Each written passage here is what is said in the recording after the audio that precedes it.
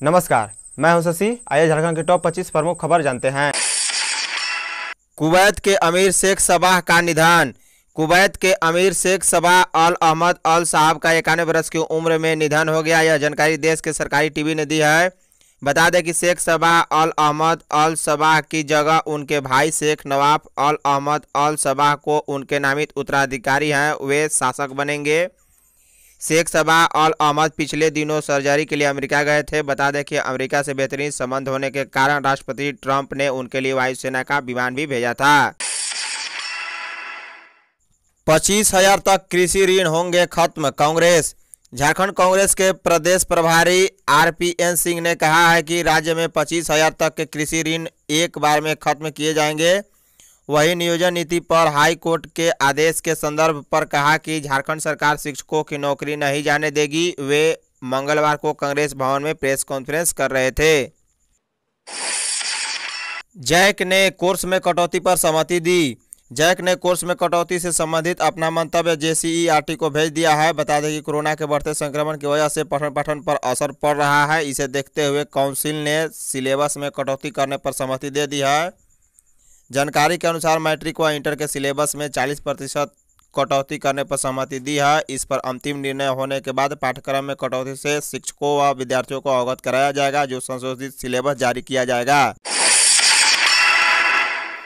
झारखंड में ग्यारह सौ तेईस नए संक्रमितों की पुष्टि हुई, जो रांची से तीन सौ उन्नीस, बोकारो एक सौ उन्नीस, चतरा चार, देवघर अट्ठाईस, धनबाद अंठावन, दुमका इकतीस पूर्वी सिंहभूम दो सौ नौ, गढ़वा उन्नीस, गिरिडीह अठारह, गोड्डा आठ, गुमला सात, हजारीबाग पचास, जामतड़ा पंद्रह खुट्टी बाईस, कोडारमा तीस, लातेहार छत्तीस, लोहरदगा ग्यारह, पलामू और रामगढ़ सत्रह सत्रह, रांची तीन सौ उन्नीस, साहेबगंज चार, सरायकेला उनचालीस, सिमडेगा आठ व पश्चिमी सिंहभूम से चौवन मिले हैं।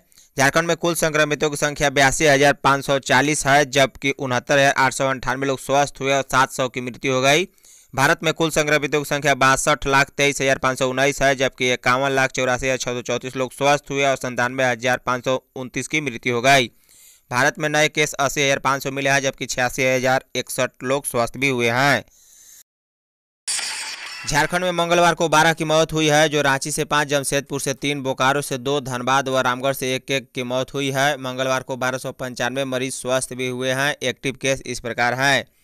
रांची चौंतीस सौ, पूर्वी सिंहभूम बाईस सौ, नवासी, धनबाद सात सौ, गिरिडीह दो सौ बत्तीस, बोकारो पाँच सौ छियालीस, चादरा दो सौ सोलह, देवघर दो सौ इक्कीस, दुमका दो सौ सत्ताईस, गढ़वा एक सौ तिहत्तर, गोड्डा एक सौ संतानवे, गुमला दो सौ छत्तीस, हजारीबाग पाँच सौ इक्यावन, जामतड़ा एक सौ तेईस खुट्टी तीन सौ नौ, कोडारमा चार सौ आठ, लातेहार दो सौ इक्कीस लोहरदगा तीन सौ इक्यानवे पाकुड़ एक सौ चौदह, पलामू एक सौ अड़तालीस, रामगढ़ दो सौ चौबीस, साहिबगंज बासठ, सरायकला चार सौ दो सिमडेगा एक सौ छियासी और पश्चिमी सिंहभूम तीन सौ छियासठ मरीज़ हैं। झारखंड की बेरमो और दुमका सीटों पर तीन नवंबर को वोटिंग। झारखंड के दुमका और बेरमो विधानसभा सीटों पर तीन नवंबर को वोटिंग होगी वहीं इसका परिणाम दस नवंबर को आएगा। बता दें कि बिहार चुनाव का परिणाम भी दस नवंबर को ही आना है। दुमका और बरहेट सीट से मुख्यमंत्री हेमंत सोरेन ने चुनाव जीता था। उन्होंने दुमका सीट खाली करने का फैसला किया। वहीं कांग्रेस के दिग्गज नेता राजेंद्र सिंह के निधन के बाद बरहेट सीट खाली हुआ है। एनटीपीसी या अन्य कंपनियों को झारखंड की जनता के हित में काम करना होगा, हेमंत सोरेन। हजारीबाग जिला अंतर्गत बड़का गाँव में एनटीपीसी के खिलाफ विस्थापित प्रभावित अधिकार सत्याग्रह आंदोलन चल रहा है। बड़का गाँव विधायक अम्बा प्रसाद आंदोलनकारियों की मांगों को लेकर सीएम हेमंत सोरेन से मंगलवार को मुलाकात की।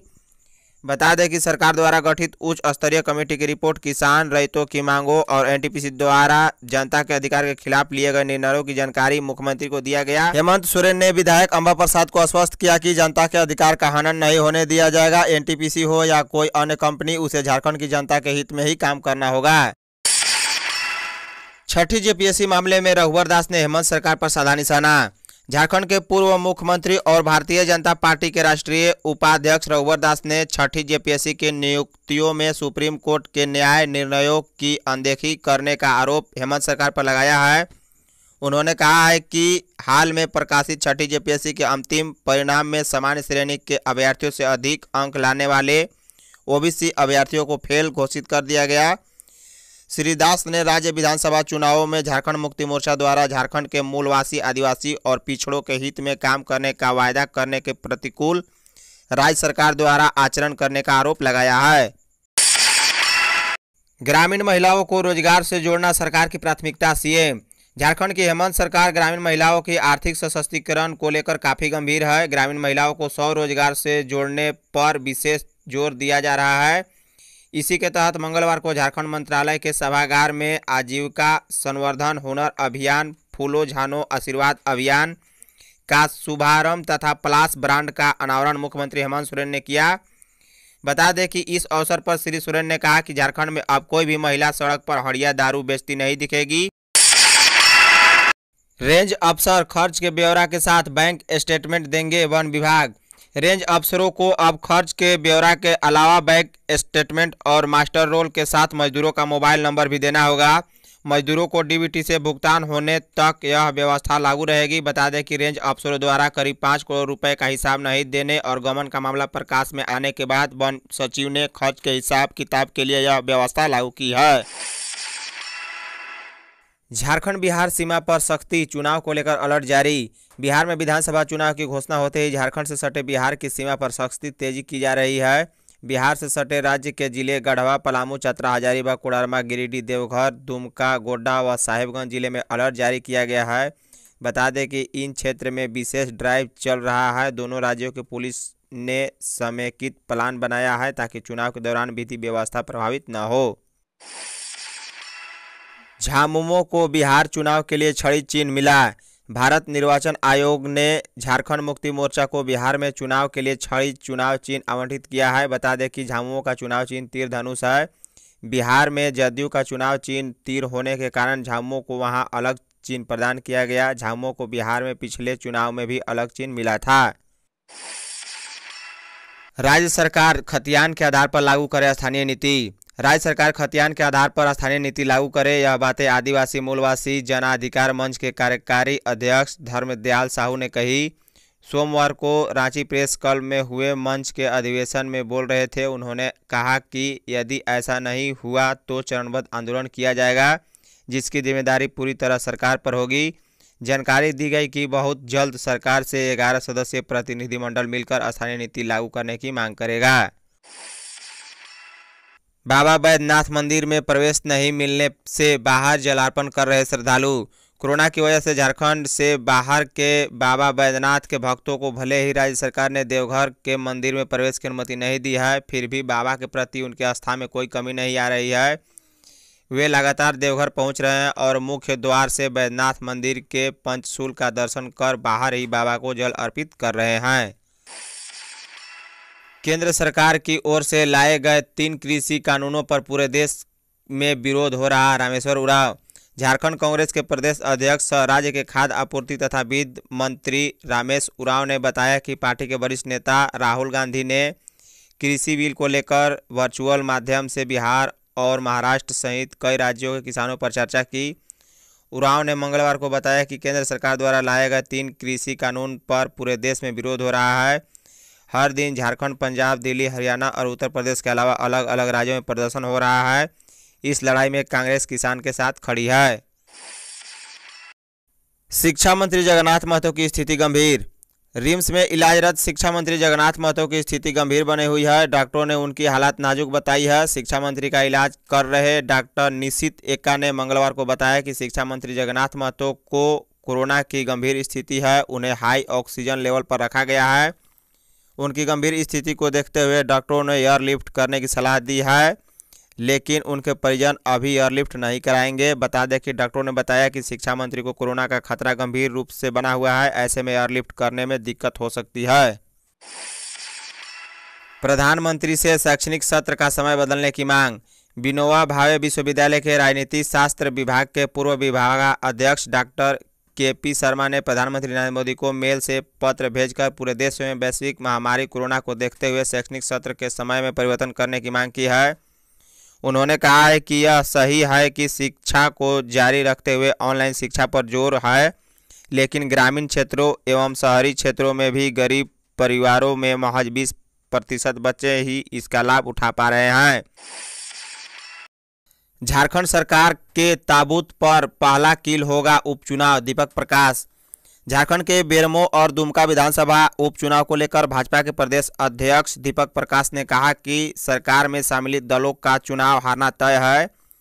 प्रकाश ने मंगलवार को कहा कि झामुमो कांग्रेस की सरकार नक्सलवाद, अपराध, विकास की शून्यता, छलावे की राजनीति बेरोजगारी एक वर्ष में पाँच लाख नौकरी देने में असक्षम साबित हुई है। वहीं युवाओं से रोज़गार भी छीना जा रहा है।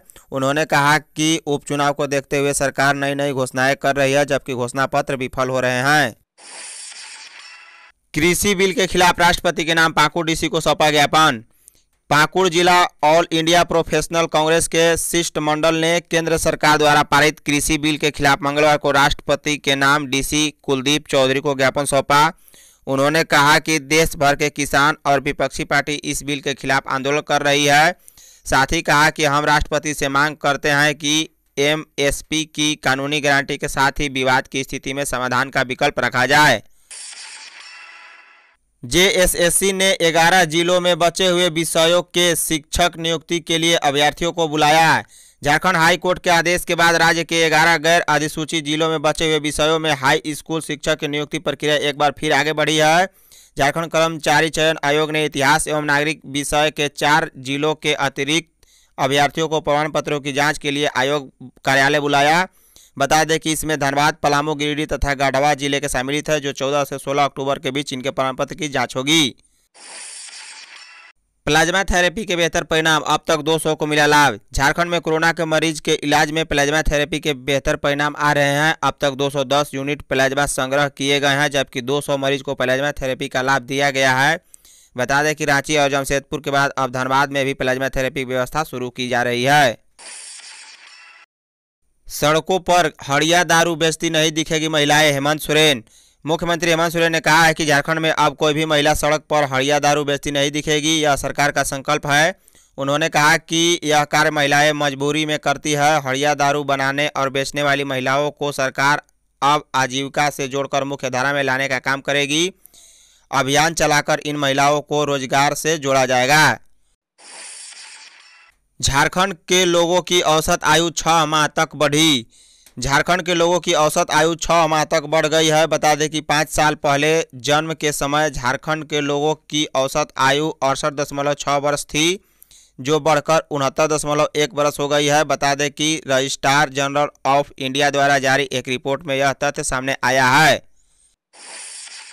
सरायकेला के उद्यमियों संग बैठक कर एसपी ने विधि व्यवस्था पर चर्चा की। सरायकेला जिला के आदित्यपुर स्थित ऑटो क्लस्टर में मंगलवार को पुलिस प्रशासन और उद्यमियों की संयुक्त बैठक में जिला के विधि व्यवस्था पर चर्चा की गई। बैठक में मुख्य रूप से एसबी मोहम्मद अरसी सम्मिलित हुए। मौके पर उद्यमियों द्वारा आदित्यपुर एवं गम्हरिया औद्योगिक क्षेत्र की विधि व्यवस्था से संबंधित समस्याओं को एसपी के समक्ष रखा गया।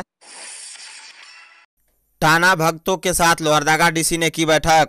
लोहरदगा उपायुक्त दिलीप कुमार टोपो की अध्यक्षता में मंगलवार को टाना भगत विकास प्राधिकार समिति की बैठक हुई। बैठक में विभिन्न बिंदुओं पर चर्चा की गई। उपायुक्त ने टाना भक्तों को निर्देश दिया कि जिन प्रखंडों में टाना भक्तों की जमीनों का म्यूटेशन नहीं हुआ है, उन जमीनों के मामले में उत्तराधिकारी नामांतरण की प्रक्रिया परिवार की आपसी सहमति से पूरी कर म्यूटेशन के ऑनलाइन आवेदन करें। सभी अंचल अधिकारी सिर्फ़ ऑनलाइन माध्यम से म्यूटेशन के लिए आवेदन प्राप्त करें और उनकी जाँच कर म्यूटेशन ऑनलाइन निर्गत करें।